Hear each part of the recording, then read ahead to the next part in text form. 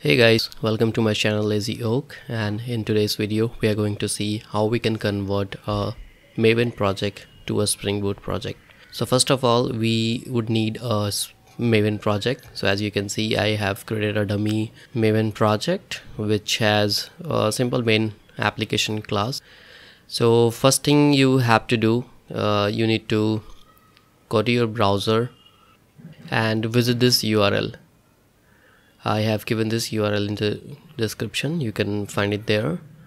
Once you visit that it will download a pom.xml file which uh, you can open.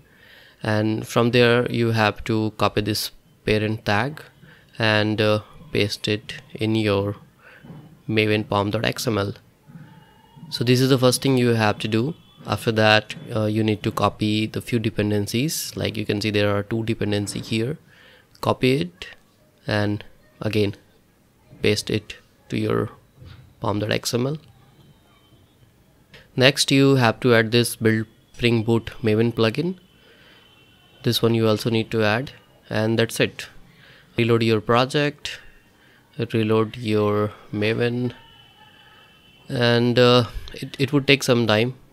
After that you have to go to your main application.java uh, you must have a, a class which contains a main method. So there you have to add this spring boot application annotation. In the main method you have to call a function uh, which is a part of a spring application class. And there you have to provide uh, your uh, class name and the uh, arguments. Right and now you also have to add application.properties on your project. If you have maven project then you must have resources folder. Inside that you can uh, make application.properties file. So here i am giving a server.port and um, yeah again reload your maven project if it requires. Again it will take some time. Once you start the application it will terminate because you haven't created any controller or any API so that is why it will run and terminate.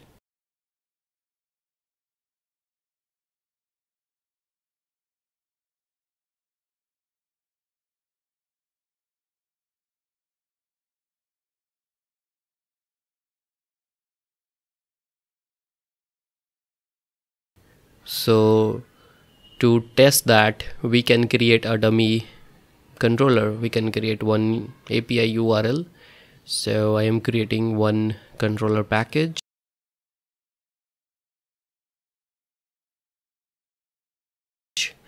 Inside that controller package I'm going to make a class user controller.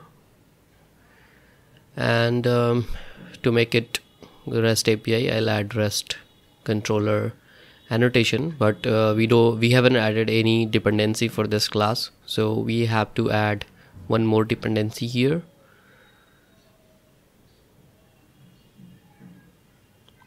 Spring Boot Starter Web.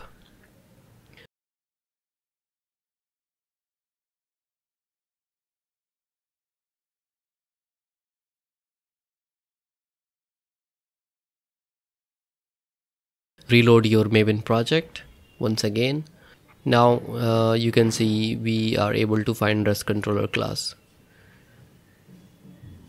So we are going to make simple get API for the testing purpose we are going to make resource url slash api slash user. I'm making this uh, simple api just to demonstrate that uh, we are able to successfully convert the maven project to spring boot and uh, we are able to hit the api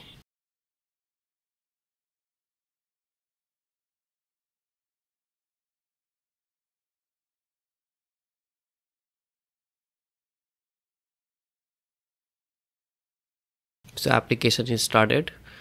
Um, let's open our browser and uh, 9090 port. The application has started. Localhost 9090 slash api slash user. You can see the response which we have uh, returned from our method. Welcome. So yeah. We have successfully converted the maven application to spring boot application. Thanks for watching